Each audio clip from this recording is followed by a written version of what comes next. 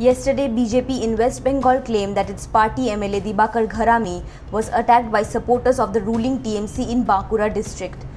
Police have claimed that no such incident was reported to them.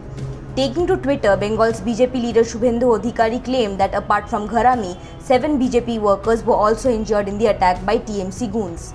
His tweet on Sunday read, Sonamukhi MLA Dibakar Gharami attacked by TMC goons today at Manik Bazar Panchayat area. Seven BJP party members accompanying him were seriously injured alongside others and had to be referred to Bankura Medical College. An MLA is not even safe in the non-MLA CM's jungle Raj. Horrific, he concluded.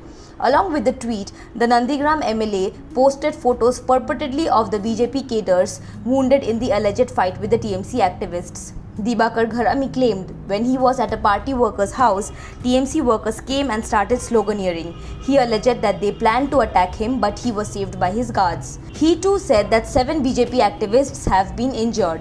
However, the additional superintendent of police Ganesh Biswas told PTI that he does not have any information about any such incident. He said that the BJP's Bishnupur organizing district president Sujit Agasthi said Gharami was not physically attacked. He further added that the BJP workers were attacked during a meeting in the Manik Bazar Panchayat area on Sunday evening. Agasthi alleged that as the BJP workers went to Sonamukhi police station to lodge a complaint, two of them were detained. A district TMC leader asserted that Adhikari was lying and no such attack by TMC took place. Subscribe to Oneindia channel and never miss an update.